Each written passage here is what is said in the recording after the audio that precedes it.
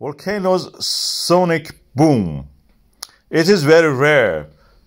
Objects usually in nature don't travel faster than the speed of sound. But in this case, you can see it explodes this volcano, breaks the sound barrier. Video, you can see that. That was uh, uh, the actual uh, shock wave passing and, uh, you know, rising up. And then it reaches us